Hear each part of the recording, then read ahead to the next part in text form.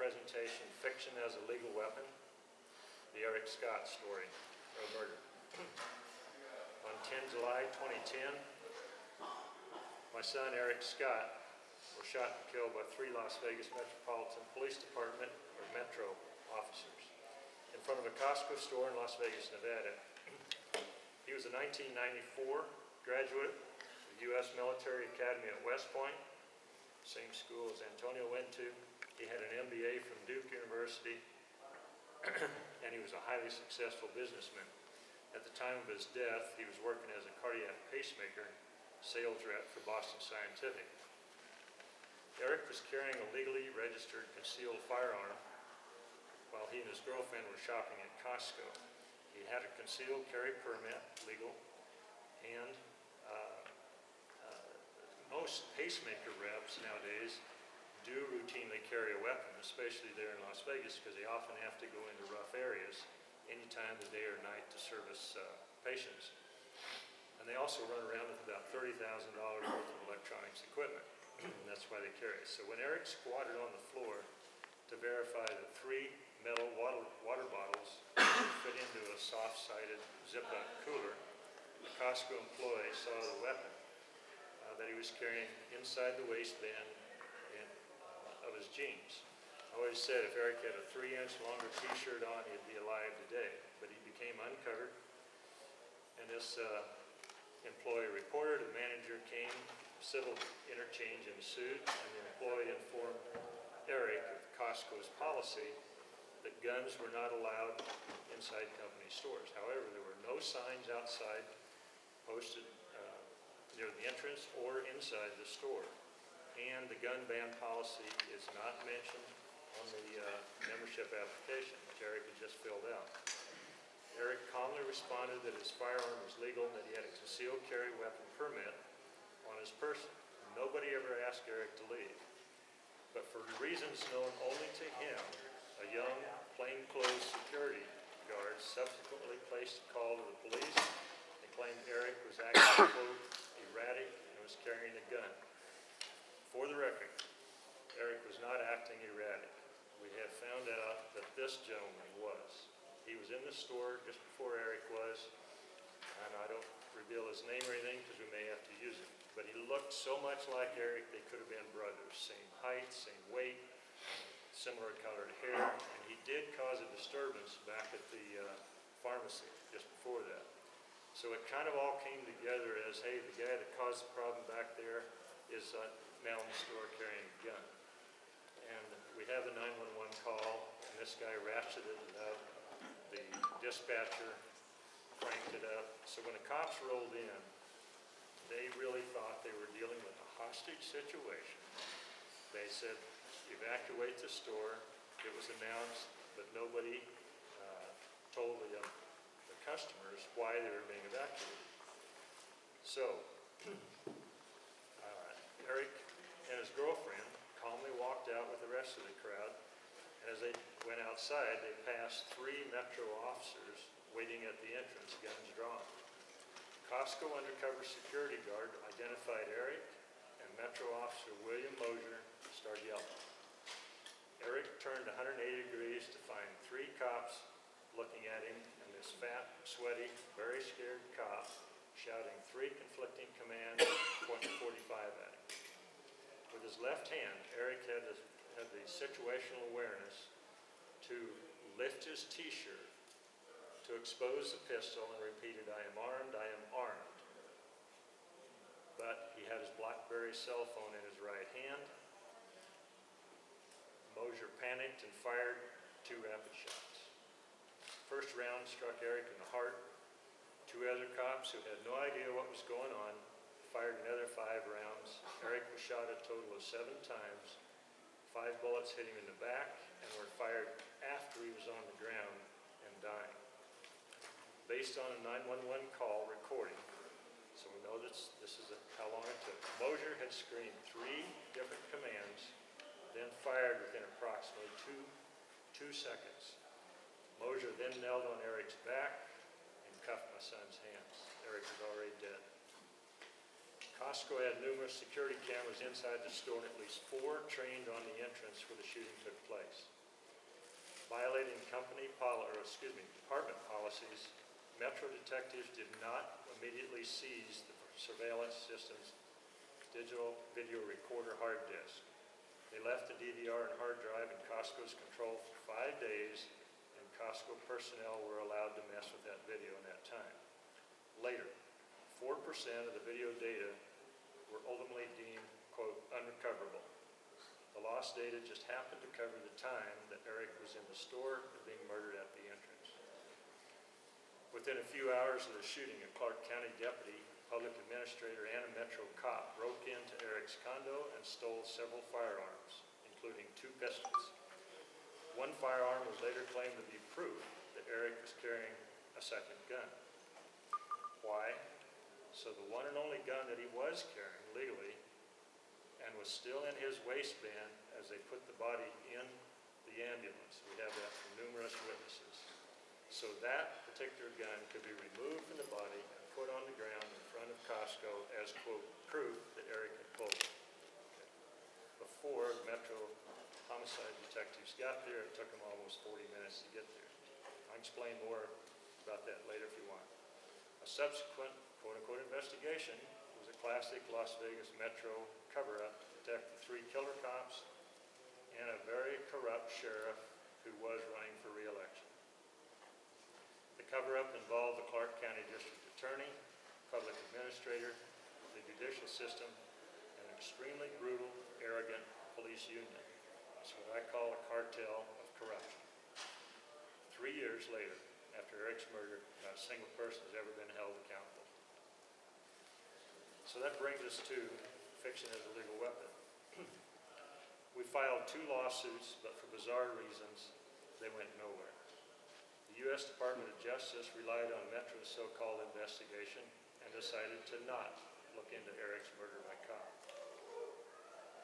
So how does a common citizen secure justice among a powerful cartel of casino owners, a Vegas police department that serves as a Cleveland mob's enforcers, and a corrupt legal system set up to ensure killer cops are always exonerated.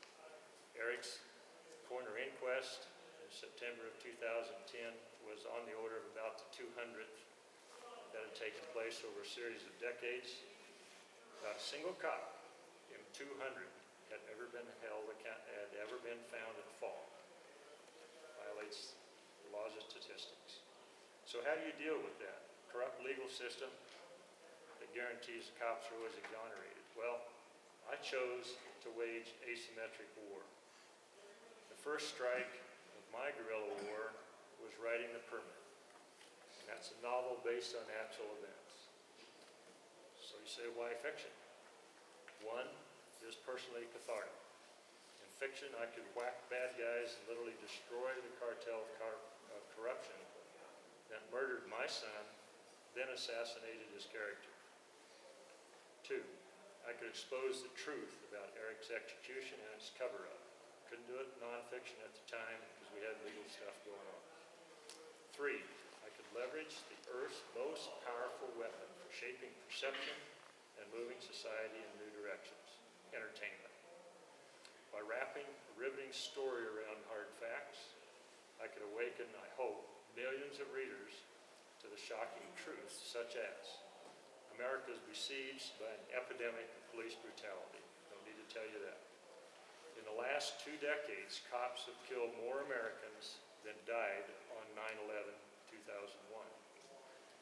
A U.S. citizen is eight times more likely to be killed by a cop than an Islamic jihadist. And a cop is 130 times more likely be involved in an act of misconduct than to be killed in the line of duty. So what's the permit about? Here's an overview. This is fiction. The Department of Homeland Security Intelligence Team has identified a new, incredibly dangerous terrorist group codenamed Indigo. When three Indigo terrorists gunned down Eric Steele, a federal covert operations agent, they incur the wrath of Checkmate, highly classified off-the-books team of assassins that employs high-tech weapons to kill sleeper cell jihadists. Eric was one of those. Checkmate starts taking out the Indigos who killed one of their agents. But the covert operatives are on a short fuse. If checkmate fails to quickly neutralize Indigo, America will explode in armed revolt, thousands of honorable officers and innocent citizens will die. Covert checkmate team employs superclassified weapons such as a disease called fatal familial insomnia. The infected targets can't sleep, their bodies literally burn out from exhaustion and they die. It's a real disease, by the way, called FFI. So now you also, we also use unmanned drones that track and attack bad guys using advanced see-in-the-dark systems. The primary drone I use is called the Gremlin, one of the things it does, it fires electronic signals that create a ghost that emulates Eric Steele. But it's only, it only appears in the brain of the guy with the right genetic code. You can code this stuff, of a particularly bad cop, and it's the head of Metro Homicide. Drives him insane. A system that can take control of the Cadillac, trigger a fatal crash, tiny missiles with a warhead made of nanoparticles, which literally liquefy human tissue. A robotic dog, most people like the dog, with a warhead made, uh, excuse me, that fires high-power microwave beams to blind bad guys, or worse. An acoustic weapon that shatters human bone and pulverizes big box warehouse stores. Good. And then T-Rex, an electromagnetic pulse weapon that destroys microchips and other electrical devices, literally turning resort, hotel, casinos into dark caverns. T-Rex is flown on a Black World fighter aircraft called the A-17 Shadow. The bottom line is, the permit sounds five loud and clear messages. One, there's no escaping accountability and justice. Although these smug cartels of corruption all over the nation believe that they control every office and every public official, they can't escape the fury of angry citizens backed by shadow warriors. Two, corrupt public officials will be held accountable for their crimes in ways they cannot conceive, administered by forces they know nothing about, using weapons beyond their comprehension. In the permit, the warning to indigo domestic terrorists is unmistakable. You kill, you lie, you die. Number three, there's no escape for these killers who hide behind wealth, power, and a thin veil of corruption, of corrupt officialdom. Four, the warriors of justice are already monitoring these heartless killers and are just waiting. Five, finally, the permit is a memo to corrupt coward cops like Bill Mosher, Tom Mendiola, Robert Snyder, Patrick Gaborski, Patrick Neville, Bryan Yant, Derek Colling, and Jesus Arevalo, just as a starting. And this message is, some forms of justice are worse than death. Thank you.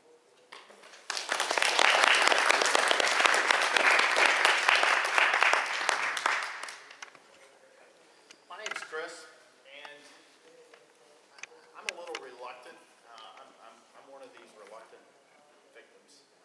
And my crime that I was accused of and arrested of is, is, was a personal one. I was attacked by someone I loved, and I was protecting my son.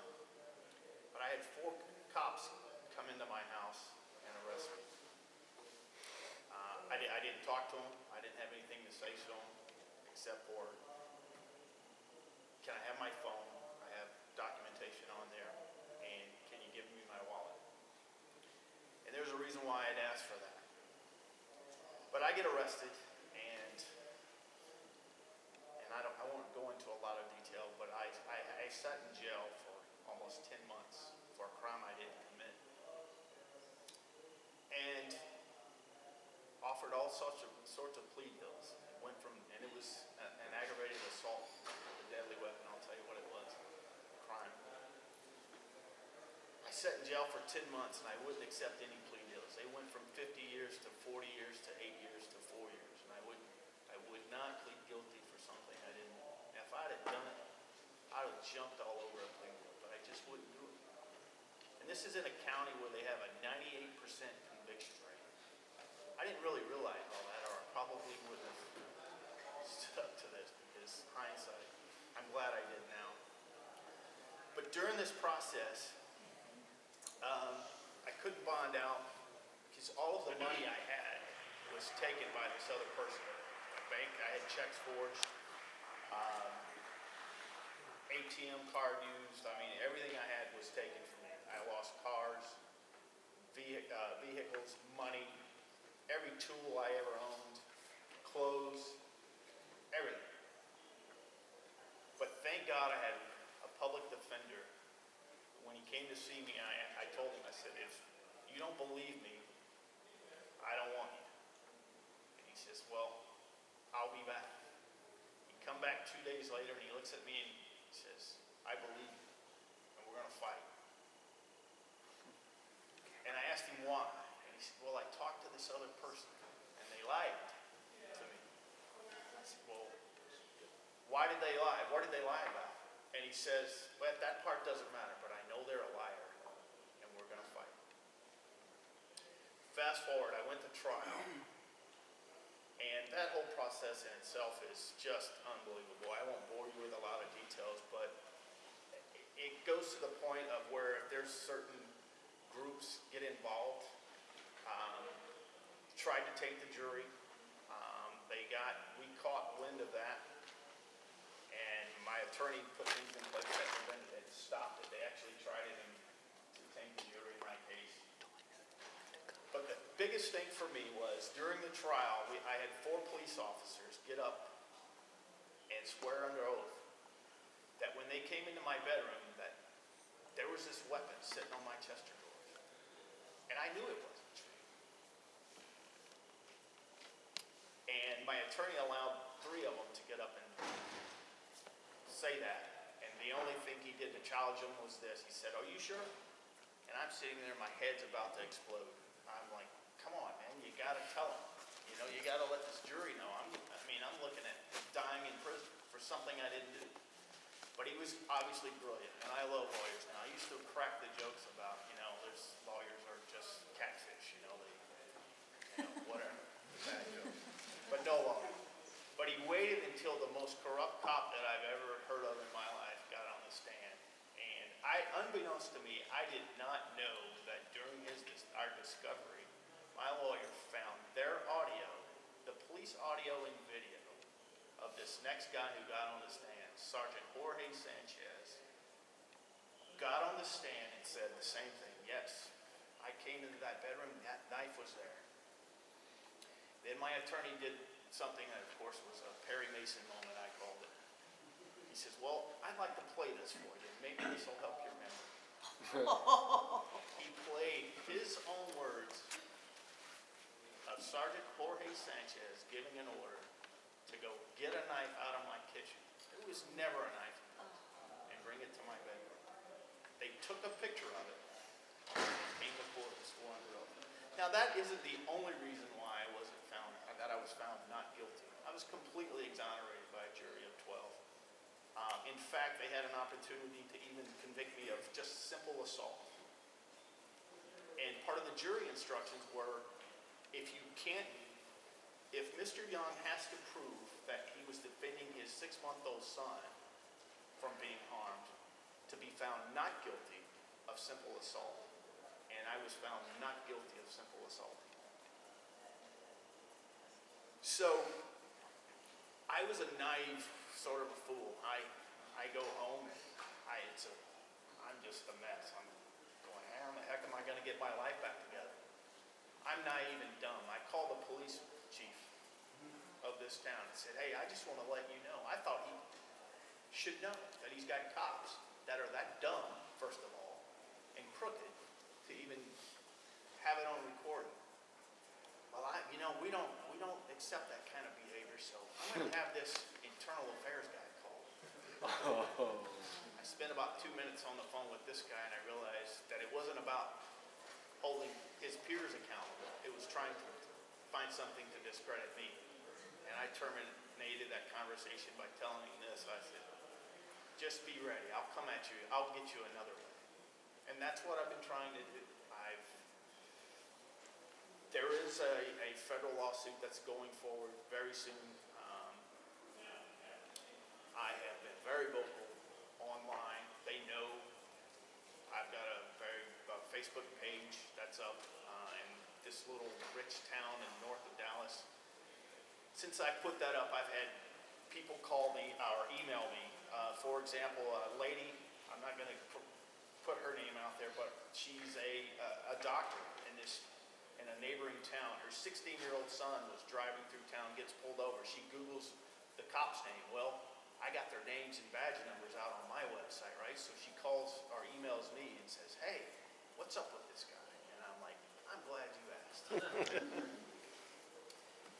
This 16-year-old young guy, no record, was pulled over, pulled out of his car, frisked, his car searched, and he's asking, why'd you pull me over? And on their recording, in this particular case, you didn't look right. Well, it just so happens, he looks like this guy right here, the color of his skin, driving while black in Frisco, Texas.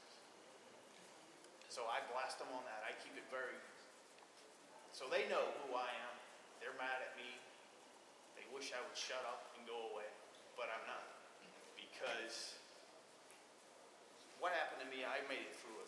I'm happy. But I want my little, now he's two, two, two-year-old son. His dad's not the most perfect guy in the world, but I want him to know at least I tried to stand for something. So anyway, more to come on this story, I promise you. So that's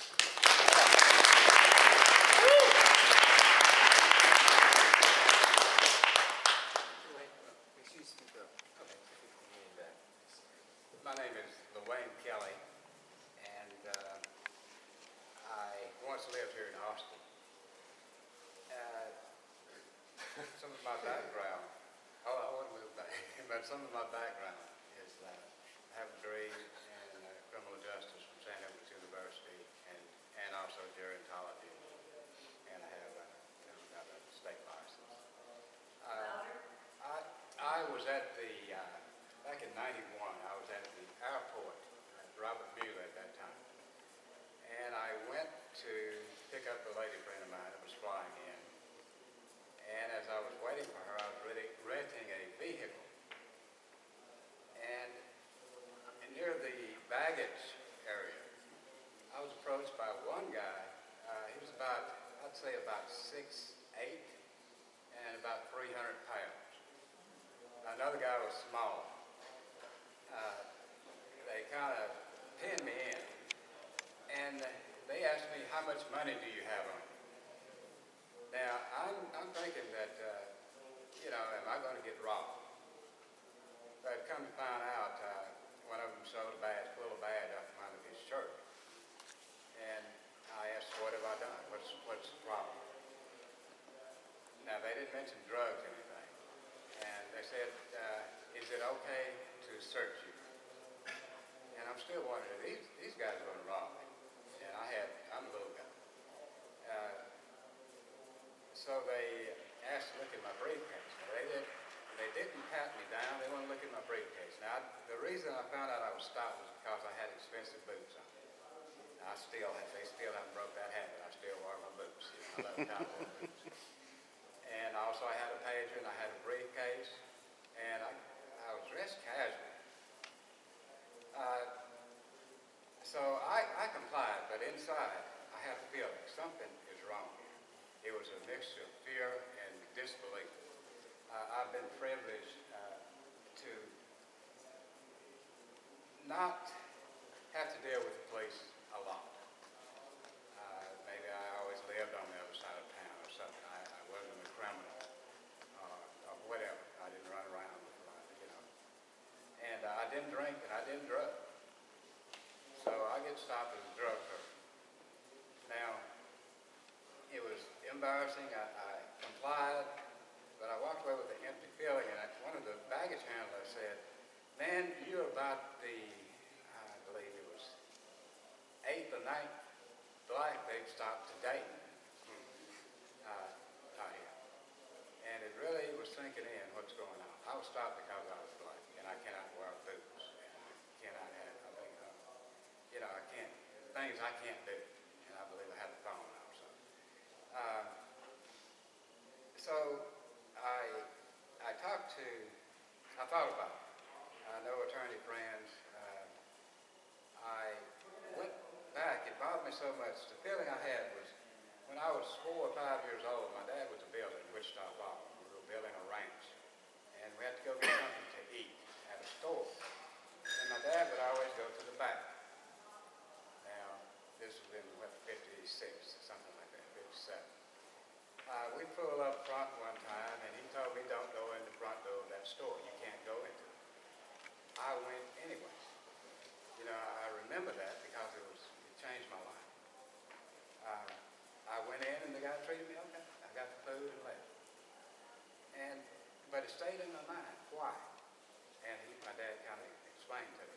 But that's the feeling I had, a sinking feeling, after I found out man. Uh, I went back the next day. I just wanted an apology. Uh, at least a, a communication that, you know, not in front of 300 people. If you're going to search me, you know, do your job or whatever, but not in front of the baggage area. Think that, what do they to do? And uh, he's guilty because they're doing it. We don't care. I, I also reported. I, I was in a habit. I worked around a lot, all, most of my life. Uh, we don't care who you are, boy. Uh, what we're doing, we're going, we're going to keep doing. And I went there with a piece, of, you know, just trying to do it a little more dis- discreetly. And I still hadn't formulated in my mind this is plumb. Uh, I ran into a friend of mine, Gary, Gary Bledsoe, at the airport. I was out there, I believe the same day I asked for the apology. No, I was taking my girlfriend back to fly back out. And I kind of mentioned what happened. And he just said one thing, he said, what are you going to do about it? And that's it, he was catching his flight. And that stayed in my mind. Uh, I had, I was a, a manager for a major builder, uh, well, in the country. And I had a, a friend of mine, uh, and he was a, a tenant. And I knew it was wrong, because I know the law. Uh, thought I did. Uh, I had him dress up in my clothes, my boots, my jeans, my shirt, my pager, my briefcase. We had another guy filming all this for four days. They did not look at him twice. And I made sure the same officers were on duty, and I stayed out of the plane. They didn't know this was going on. Uh, I got in contact with the Civil uh, Rights Project in Texas. We filed a lawsuit. It was the first uh, p- profile. They said I fit the profile. Uh, we got a, on deposition, we got a, got, found out what the profile is. It's walking too slow, walking too fast, looking around, not looking around. You know, dressed down, dressed up. It- It's just whatever, but it came down to uh, mostly minorities and a lot of Hispanics. But the deal was, they were getting money. Now, this is still on the law. They will take your money. You only have 20 days to get it back. Millions and millions are taken from these airports. They don't tell you you have 20 days. You have to file a lawsuit, get you an attorney to get your money back.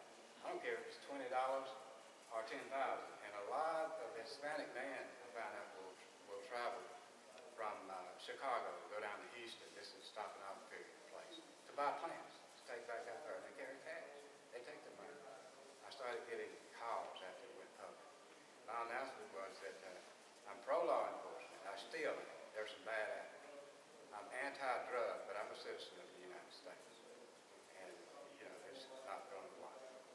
Uh, we filed a lawsuit, and uh, I had credit cards, thank God. I really don't get upset. But uh, we filed a lawsuit. It was the first case on court TV, I think.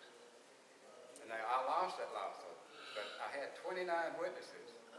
It just so happened an attorney of mine who was quickly moved to San Antonio, set up a nice practice, uh, didn't declare my witnesses. You have to do it in 30 days. She did it 29, 29 and a half days. Another friend of mine uh, caught men in black in a police vehicle, breaking into my apartment. I had two kids. I was raising two of my nephews there. After his deposition, uh, they flew him to Florida. Now, he, he was my, my witness. I, I was been, I've been told I was the only person they know of in the United States that's had a restraining order against the police. Because within a half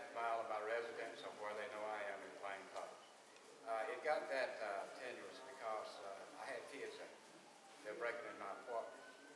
And this is, I called the media. They came over first, then I called the police, and I had some weapons out.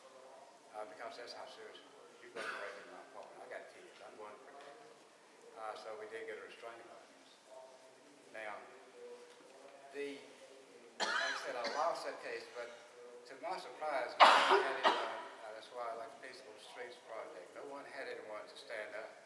It takes a lot God to face these people. They will, you have to be squeaky clean. You can't spit on the side. And that's the way your life is going to be for years and years. I worried about even dating because I didn't know. I was told by different officers they be doing this.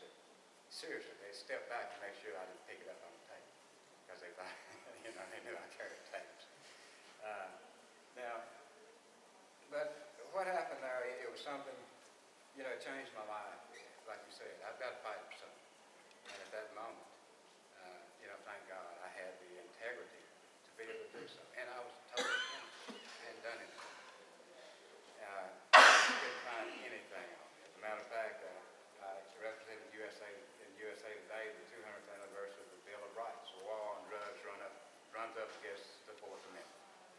Ironically, they said uh, a drug and alcohol council, which I was, and licensed, bust, bust uh, narcotics agents. You know, But uh, what I found, now, this was during the period of Rodney King. I, I became active, and like you do, it, it's, it, sometimes it, it takes something, you know, to touch us. But see, this I can't imagine how much it goes on. And I was under, under the false assumption that it had, you know, stopped or slowed down or whatever. But uh, Richard informed me, you know, and I started looking around again. You know, I lived in my little safe world, don't make way. Well, I live in Abilene, Texas. If I did something there, uh, you know, you, you could find me on the best post. I'm, I'm, I'm serious. I went on to investigate uh, uh, shootings, uh, civil rights investigator, state license. Uh, and I formed, uh, with the help of Gary Bledsoe, uh, the task force to identify innocent prisoners. And uh, believe it or not, TCLEOSE, at that time, I'm not sure now, didn't have the funds to track down crooked cops. They could get fired in this town, move 30 minutes down the road, they have another job. Some reason, they didn't want to do it, so they solicited uh, myself and some friends to try to keep track of these people. Sure enough, they go just right back to the same old habit. And uh, I found different patterns. Uh, somehow I uh, had a lot of integrity on uh, a lot of major cases. Most, most of them were homicide. Uh, certain agencies could not close a case unless they had my signature or approval. When, like in a small town, it could be rich. It didn't have to be black or white. Rich or poor, police. And uh, we were able to uh, get some of those guys fired. But uh, what, I guess the message I want to deliver, we as an individual can make a difference. Now, when I was doing it, it was dangerous, but I really thank God for the media. Uh, they protected me. Now, also, I would get calls from police uh, officers. Say, Lorraine, I can't tell you my name, but we're on your side. White, black, Hispanic, they're on our side. So it was about a 50-50 deal. Now, like uh, one thing that people don't know, you can sue these officers individually. Now, that's when they have to go in their pockets, get their friends to contribute to a lawsuit. The city gives one dime their part it. So that's another way to weed out the bad ones. Now, I respect law enforcement. Uh, most of them are good. I'd say a good, uh, good, I'd say safely nine out of ten are good guys. But then they're corrupted by covering up that one, that, that code of silence.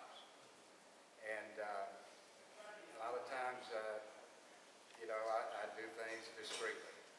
You know, I, I, I learned that you can get more information about them not knowing people, you know, when they see. So I mentioned somebody else mentioned two cameras before. You know, if something's really going on, you have one or two or three people doing that. Let them take one and let them focus on one.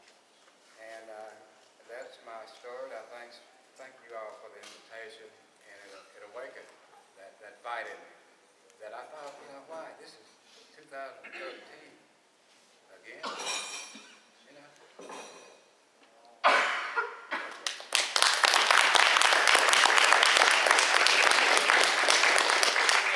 We'll open up to questions. Unfortunately, we don't have a lot of time. So Jerry?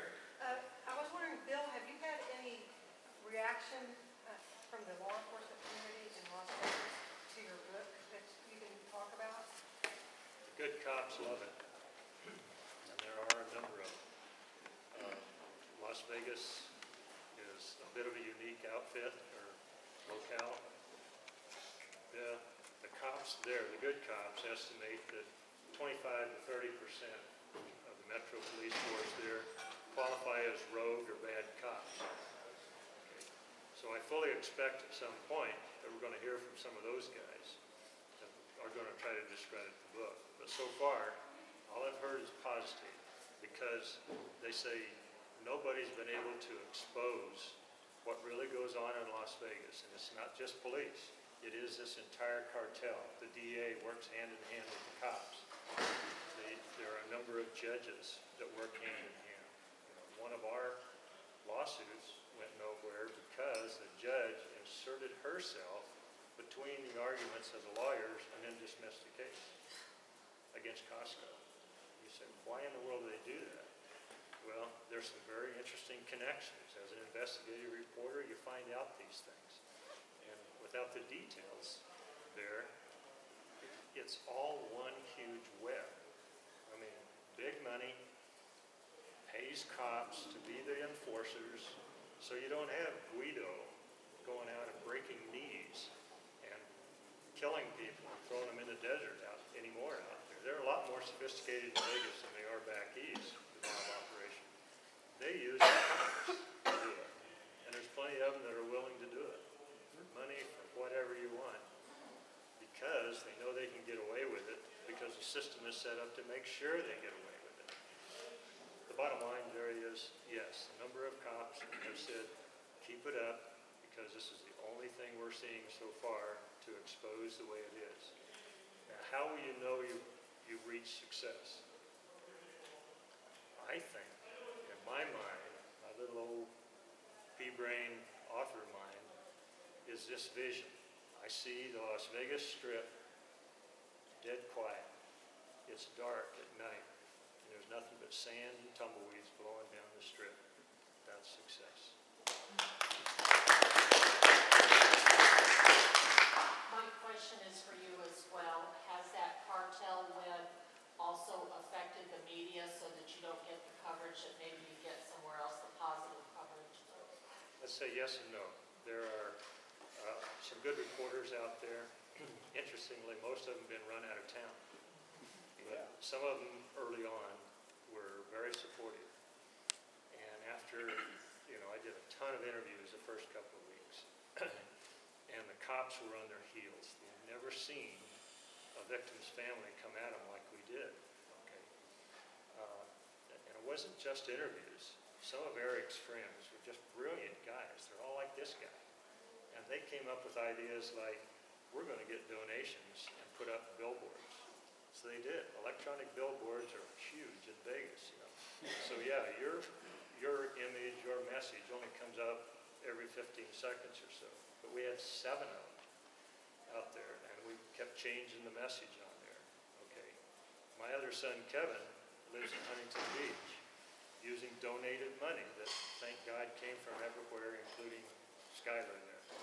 Uh, We flew a towed banner behind an airplane, back and forth, it's mentioned in here, over the World Champions Surfing Championships, the World Surfing Championship. And it says, Vegas Police Cover Up? Question mark, erikbscott.com. Okay. Drove them crazy in Vegas. I said, well, why would they do it there? Well, 30% of your customers, Mr. Vegas, comes from the Los Angeles area. Yeah. So we hit them where it hurt, and they didn't know what to do about it. So again, it's all asymmetric war, and hopefully the message keeps churning To Wayne's point, I asked early on, uh, an ex sheriff friend of mine in Colorado. I said, even before I get to Vegas the first time, by that time, you know, I was pretty aware that the cover-up was really underway right then. And I'm starting to hear some pretty nasty stuff about the cops out there. So I asked him, I said, do I have to worry about mine and my family's safety out there? They've already killed one of my kids. And he said, stay high profile and you'll be all right. They won't screw with you. So that's a message to the Peaceful Streets Project too, I think. Stay high profile and they're less and less likely to screw with you. Do like this guy does. He's out there in front of the media all the time. But to your point again, the media's controlled. You know, we went from everything's looking good at the media to we got clobbered overnight. Two things happened on the same day. I, I was writing a blog that was getting 50,000 page views? So people all over the place were, were seeing this. And the media were pretty supportive. They were reading it too, okay?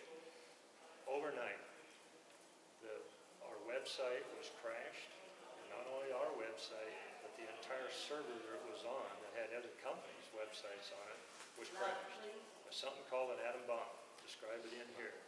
Still, I don't know if it was a worm or a virus or what, but it crashed the whole thing. And it was a sophisticated attack. This was not some 19-year-old kid in his mom's basement doing this. Metro just happens to have a very sophisticated IT unit. Cyber crimes, joint task force, got the feds in there, everything. So, on the same day, all of a sudden, the media broke some really nasty stuff about my son. And of course, it, most of it wasn't true. A dog bite incident and divorce that he was going through. And it, it was just wicked overnight. So we were rocked back on our heels a bit, but I got a hold of some of the media reporters and I said, this is BS. Unfortunately, his colleague was one of those that loves to go to the cops and get the good story, so he was ingratiating himself. Another reporter, before I even got there, had the goods on the, the sheriff, just as I described in here. Sheriff's got a little dolly in bed, wife comes home. Okay? Shots fired, cops roll in. Oops, it's the boss. Now what do we do? Okay. This reporter had everything there, including the fact that the 911 call in the Metro log just disappeared. It went from 2001 to 2003. Number two is gone. Sorry about that. Right? This guy was ready to go to press. His editors were behind it. Bam, he's out. He lives in Washington DC now, works there. Did not want to talk to me when I called him. So there's a lot of intimidation going on in the press. They walk a fine line. But in uh, November of 11, uh, the Las Vegas Review-Journal ran a very courageous five-part series on officer shootings. And those guys did a fantastic job. They ought to get a Pulitzer for it. A lead reporter now works in Florida. Um, this is gonna have to be the last question because we're running out of time. This is just a brief question. Are those, are all of those police officers still employed Yes, with Frisco Police? yes. And an How is, how is it that they were not arrested on site? Because during the trial, we also uncovered the district attorney was involved with this other group to taint the jury. And I call, I personally caught wind of it and informed my attorney, and God bless this guy.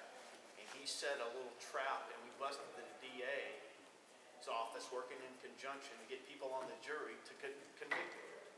And we prevented that, but we busted them too. So the DA, they're in a dilemma, because they wish I would just shut up and go away. But they're in a dilemma, and here's their problem. Because I, I, I gotta be honest, I've I taunted via my, my website and my Facebook and I'll name names, and I go, and if you don't like it, sue me for slander, I'd love to see you in court, you know what I mean? And I tell them. But they're in a dilemma, because they, they got caught red-handed planting evidence. The DA is another issue that we're looking at as well, is it, is, they're mad, they're freezing my attorney I had, he is getting, in his words, BS misdemeanor cases now to deal with. They're freezing him out because he exposed them and he just doesn't care. I mean, he will go after them. And here's their problem. If they come after me, and say, well, this guy's just, you know, whatever, he just got lucky and got away with one, then they're in trouble because they got caught planting evidence and they let a bad guy win? Think about that. They'll get hammered in the press with that. Or they're gonna get hammered for planting evidence, like in my case, on an innocent guy. That's, they're, they're, they're in bad shape. So, they will not investigate themselves. I caught wind, and I stay out of this town, by the way, because I, just as he was saying, I kid you not, I was walking after the trial, I'm walking out, and I had three Denton County Sheriff's deputies that got to know me during my tenure that said, Chris, be careful. You're gonna end up with a bullet in your head. And we're, I don't wanna see on the news that they, and I've never done drugs, don't own any guns. But they said, you're gonna end up with meth and a bunch of guns and a shootout with the police, and I don't even know what meth looks like. You know what I mean? This is their analogy, so. It's white powder. One other Yeah. thing is, the unions are incredibly powerful. Yeah. Police unions. Absolutely. I personally think if we were to outlaw public employee unions, a lot of this would go away. But to answer your question, I did hear, I don't know if it's true, that Sergeant Sanchez, who, uh, he just hates me, he could, if he could get rid of me, he would, but I heard that he is working inside only, but I don't know if that happened. Working inside on it. Yeah, Writing a desk. yeah, yeah, but I don't know if that's entirely true. But I put it out there, All, there's. all those officers should be in jail. Absolutely. And here's a crazy thing, this, and I'll be really brief. Uh, one of the, a brilliant thing my attorney did, and I tell you, I love this guy. Um, he filed a motion and we got it, that we had an NCIC run on every cop that came to my house that night, and there was fourteen names on this list. And, and this included uh, the nine-one-one callers and all this. And he got the judge to do a bird's eye view or, uh, you know, look at their personnel records and then hand over, that over to us if it was gonna be helpful to us. This guy was a brilliant attorney, and he's a public defender. And you would be shocked, out of these fourteen cops, there's four, two DWIs, two assault convictions on cops. And then you add the four that are lying, evidence planning, perjury committing trash. So that's eight out of 14. And then an internal reprimand on another officer who was out with her husband drinking. And he was driving, hit another car, and I'm paraphrasing the situation that she got reprimanded for. She jumps over and gets in the passenger seat to do the whole badge, you know, thin blue line, thug line, I call it. And citizens, this was back several years ago, citizens said, no, that's not true, he was driving. She gets a little internal thirty-day reprimand, you know what I mean, slap on the wrist. So, that's eight, nine out of fourteen, and, and I love it that, that you are so optimistic that nine out of ten are great. I disagree with that. I think, I think if you were a cop and you know, and you're of another corrupt cop and you do nothing, that makes you a corrupt piece of trash in my book, so. What county? This is Denton County, but it's Frisco Police Department. And that's the little, and I'm up, I'm up against a huge giant. This is a wealthy, the Dallas Cowboys just announced they moved their practice facility. There is a lot, I mean, they are just, What's the name of your blog? What's your website? it's a Facebook page and I, they shut down one of them. He denied me access to it. So you just Google corrupt Frisco cops and, uh, I'm smart enough technically, uh, that I come up in the first two or three lines. You'll see it. I'm blasting. So anyway. All right, we're, we're gonna wrap it up. Thanks a lot. Um, these guys are gonna be around, uh, for the rest of the day and at the speakers reception, so if you wanna chat with them about their personal stories, that'd be great. I just wanna say that it's great when people stand up. I would say for everyone that stands up, there are literally thousands of people who can't for various reasons, financial, uh, legal, um, because no one will listen to them. And so I think it's great when people are victimized who do stand up and share stories. And I think that we should- encourage other people to do the same. Thanks a lot.